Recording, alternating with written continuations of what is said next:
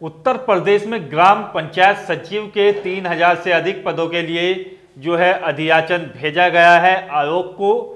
और ये जो भर्ती है, इसके लिए क्या क्वालिफिकेशन है, कब तक इसके फॉर्म आएँगे और कैसे आपको प्रतिभाग करना है, इस भर्ती प्रक्रिया में सारी की सारी डिटेल जानकारी आप लोगों के बीच हम दे रहे हैं। तो इस वीडियो को आप सभी लोग ध्यान से देखेंगे और समझेंगे चीज़ों को और तभी से इसकी तैयारी में आप लोग जुटेंगे। यहाँ पर बात करते हैं ग्राम पंचायत सचिव के बारे में। तो देखिएगा, इसके तीन हज़ार से अधिक पदों के लिए जो है अधियाचन आयोग को भेजा गया है। आयोग आपका वही है, यूपी ट्रिपल एस इस तरीके की राजस्व विभाग की भर्तियाँ कराता है। तो जो अभ्यर्थी पैट दिए हुए हैं, उन लोगों के लिए बेहतर भर्ती होगी। तीन हज़ार से अधिक रिक्त पद इसमें आएँगे।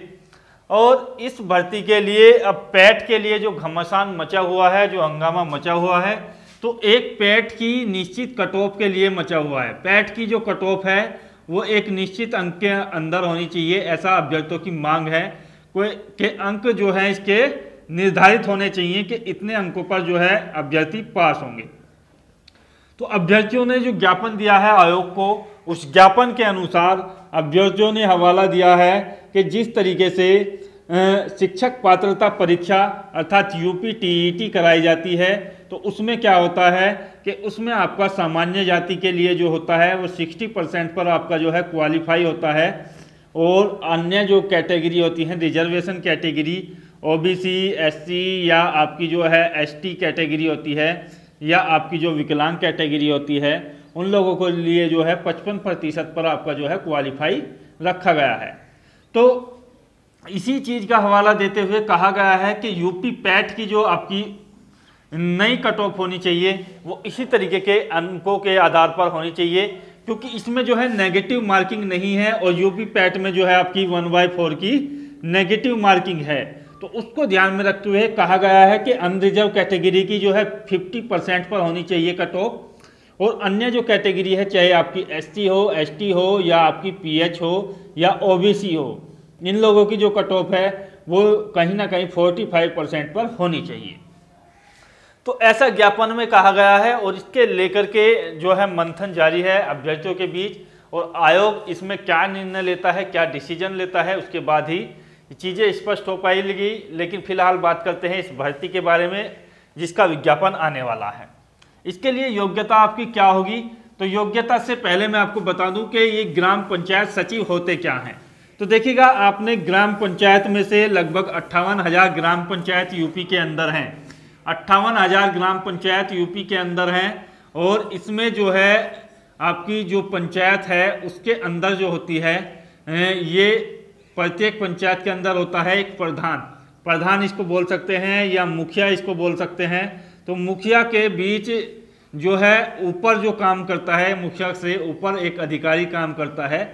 उसको बोलते हैं ग्राम पंचायत सचिव।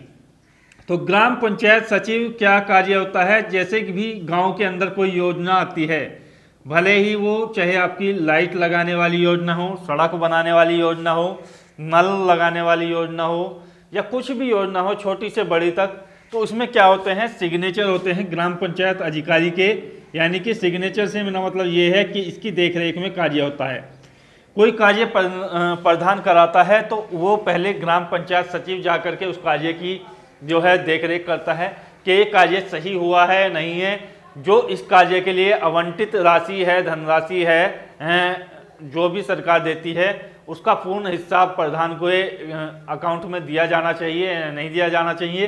तो उस तरीके से कहीं ना कहीं संकेत होता है कि ग्राम पंचायत सचिव जो है, काफ़ी बड़ी मात्रा में जो है पैसे और तरीके से भी कमा लेते हैं। तो ये जो है ग्राम पंचायत अधिकारी का ग्राम पंचायत सचिव का काम होता है। ग्राम पंचायत अधिकारी एक होता है जिसको बोलते हैं वीडियो। तो वीडियो जो है, इससे थोड़ा सा अलग होता है, लेकिन वीडियो को भी ग्राम पंचायत सचिव का जो है, यहाँ पर उत्तर प्रदेश के अंदर जो है, दायित्व दिया गया है, क्योंकि इसमें बहुत ज़्यादा पद जो है, रिक्त है। पाँच से छः ग्राम पर जो आपके छोटे छोटे ग्राम होते हैं पाँच छः गाँव पर एक जो है, ग्राम पंचायत सचिव की नियुक्ति होनी चाहिए। लेकिन यहाँ जो आंकड़े प्रस्तुत हो रहे हैं, उसको लेकर के तो लगभग लगभग बारह से तेरह गाँव पर एक ग्राम पंचायत सचिव है, जो तीन हज़ार से ज़्यादा पद यदि इसके द्वारा भर लिए जाते हैं और वीडियो से जो है इस तरीके के काम ना कराए जाएँ तो आपकी जो भर्ती है, वो लगभग लगभग दस हज़ार में पूरी होगी। लेकिन फ़िलहाल की कंडीशन में तीन हज़ार पदों के लिए ही अधियाचन भेजा गया है। तो हम तीन हज़ार के आसपास ही पदों की बात करते हैं। इसके लिए क्वालिफिकेशंस की बात करते हैं तो देखिएगा, वीडियो के समानता ही ये पद है। उसी के समान आपकी क्वालिफिकेशंस होगी। अब बात आती है कि ट्रिपल सी होगी या नहीं होगी। तो देखिएगा, पहले जो है बात कर लेते हैं तो ट्वेल्थ पास कैंडिडेट्स इसमें अप्लाई कर सकते हैं। बारहवीं पास कैंडिडेट्स इसमें अप्लाई कर सकते हैं, किसी भी स्ट्रीम से हो, किसी भी सन में आपने किया हुआ हो, और आपकी जो आयु है आयु की जो लिमिट है, वो 18 से 40 वर्ष होनी चाहिए। ये जो है सामान्य जाति के लिए है। ओबीसी के लिए 18 से 43 ईयर्स तक और एससी एसटी या महिला के लिए।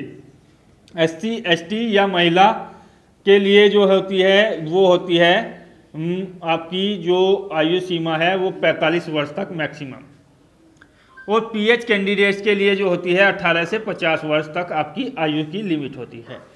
तो ये होगी आपकी आयु सीमा। तीसरी योग्यता बात करते हैं कि ट्रिपल सी आपके लिए चाहिए होगा या नहीं तो देखिएगा ये आप जो है नेसेसरी नहीं है अलाउ नहीं है कि ट्रिपल सी आपके पास ज़रूर होना चाहिए। जिस तरीके से आपकी लेखपाल में जो है इस पद के लिए मना कर दिया गया था, बिल्कुल वही काम है, क्योंकि लेखपाल को तो फिर भी ज़्यादा काम रहता है कंप्यूटर का, इन्हें उससे भी कम काम है तो इसके लिए भी ट्रिपल सी की योग्यता जो है हटा दी जाएगी। तो कहीं ना कहीं ये संकेत है कि आपके पास ट्वेल्थ पास होना चाहिए और पैट का स्कोर आपके पास होना चाहिए। तो सवाल ये उठता है कि यहाँ पर इसके सिलेबस और सिलेक्शन प्रोसेस क्या होगी? तो जैसा कि मैंने बता दिया है, जिन लोगों ने पेट एग्ज़ाम से दिया है, वो इसमें प्रतिभा कर सकते हैं।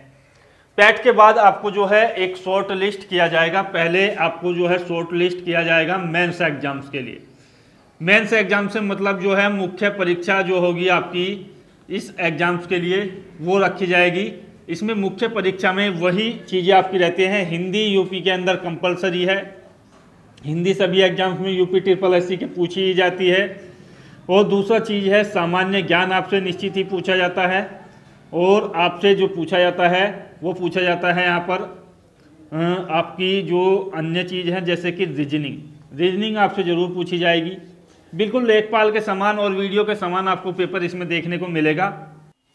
मैथ आपके लिए यहाँ से बन जाता है। तो ये आपके लिए जो है यूपी ट्रिपल एस का सिलेबस होता है। लगभग लगभग यही चीज़ें आपसे पूछी जाती हैं। सिलेक्शन प्रोसेस यही होगा। मुख्य परीक्षा के आधार पर आपका सिलेक्शन होगा। शॉर्ट लिस्ट कैंडिडेट्स को मुख्य परीक्षा में बैठने का मौका मिलेगा। जो भी शॉर्ट लिस्ट कैंडिडेट्स हैं, अभी ये तय हो जाएगा कि आपकी जो पैट की, वही पुराना पैटर्न रहता है परसेंटाइल वाला। निश्चित कट ऑफ़ होती है, उसके आधार पर ये हो जाएगा। अब बात आती है इसके विज्ञापन की तो विज्ञापन इसका जो है देखेगा, यहाँ पर नवंबर लास्ट में आपको देखने को मिल सकता है। तो ये चीज़ें आप लोगों के लिए थी। आशा करता हूँ वीडियो बेहतर लगा होगा। जय हिंद, धन्यवाद, जय भारत।